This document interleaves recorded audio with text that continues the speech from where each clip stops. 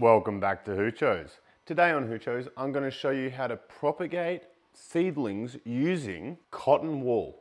That's right, cotton wool to propagate seedlings. This is one of the cheapest propagation techniques that you'll find, and it's actually remarkably effective as well. It does have some caveats, and we'll get to those, but if you're looking for a cheap and reliable way of starting seedlings for hydroponics or soil, this is a fantastic method. So I'll show you how you can achieve results like this. So to start with, you're gonna need some cotton wool or cotton balls. These are available at pharmacies or shops, pretty much any supermarket. You'll need a propagation tray that fits in it a densely packed cell insert, which you'll be able to use to fill with your cotton wool buds. Now this insert should touch all the way down to the bottom of the tray and it should be about the size of one cotton wool bud. You're also going to want the propagation tray and cell system to have a propagator lid, which you can use to keep in the humidity while the seedlings germinate. So to the cells, we're going to add in the cotton wool buds and we're going to press them all the way in so that they stick out the bottom. This is important so that they wick up from below when you add in nutrient and water and you want to do that with all of the cotton wool buds. So push them in, make sure they stick out the bottom. If they don't, push them in a little bit further. You can tease out the cotton wool buds so that they fit, and then we're just gonna fill out the rest of our propagator. This method turns out to be really cost effective. I think each cotton wool bud ends up costing about two cents each. Compared to propagation methods like Jiffy Peat pellets, which can cost upward of 16 cents per each pellet, that is a huge cost saving. It's even cost effective when compared to our cheap rock wool method of cutting up rock wool slabs and ascertaining rock wool media in that way. At this point, you want to make sure that all of your cotton wool buds are pushed through to the base of the cell tray and we're going to start by wetting the media. So we're just using water at this point and we're filling up the bottom of the tray until we have enough water that the water level will surpass that of the bottom of the tray and wet our cotton wool buds like so. This will allow the water to wick up naturally and you won't actually need to wet the cotton wool buds from above. We'll just place out our seeds, press them into the wet buds and we'll put our propagators into our DIY propagation shelving unit and set up our time-lapse camera.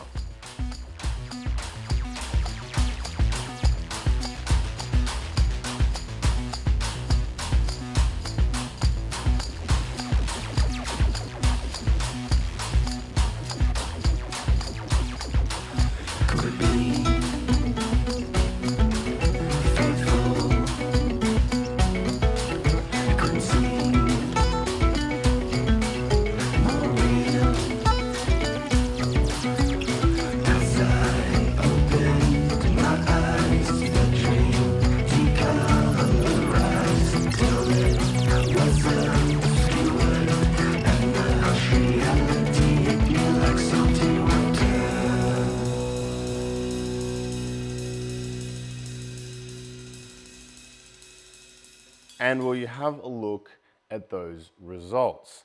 Now, there are a few caveats which we'll get to soon, but overall, I'm pretty happy with how the cotton wool performed in keeping moisture to the seed and supplying it with nutrients once it was added. So the second half of that time lapse was where the nutrients were added and I probably left it a little bit longer than I could have and that's when they really started to take off and green up. I did have one problem with the grow and you can see it in the second tray. Second tray was actually allowed to dry out almost completely. Around the edges it stayed a little bit more moist and you can see that because the seedlings around the edges have survived mostly. One of the biggest problems you'll probably have with this technique is because the cotton wool is such a small amount of media, you really are going to have to keep on top of the watering and the addition of hydroponic nutrient once they get to that stage. Because once you remove that dome, the water will evaporate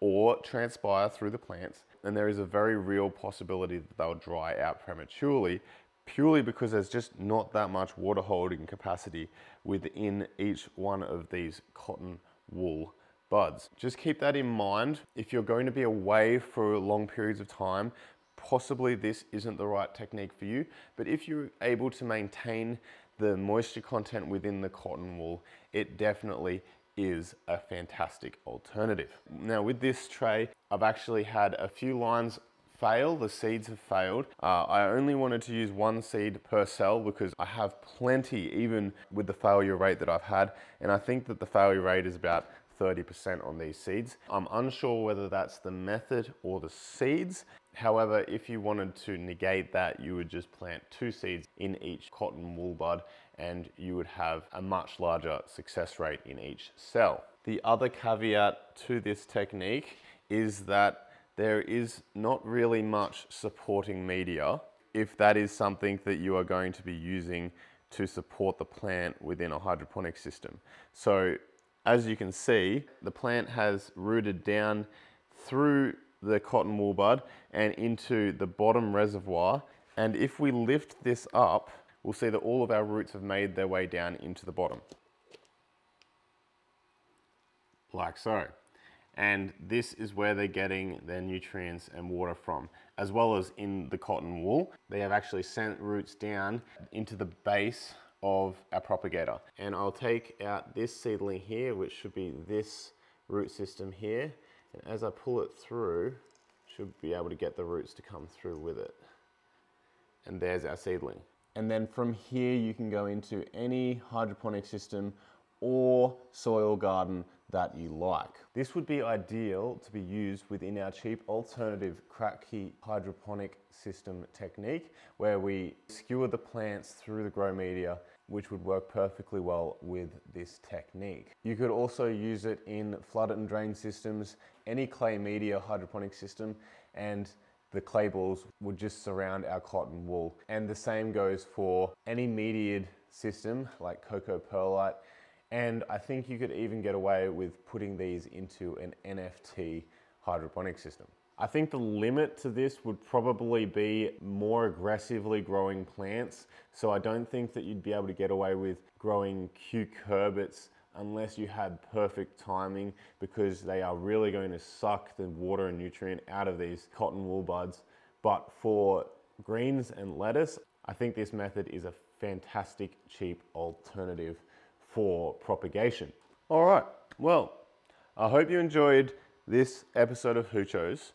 Happy hydroponicking, and I'll see you next time on Hoochos.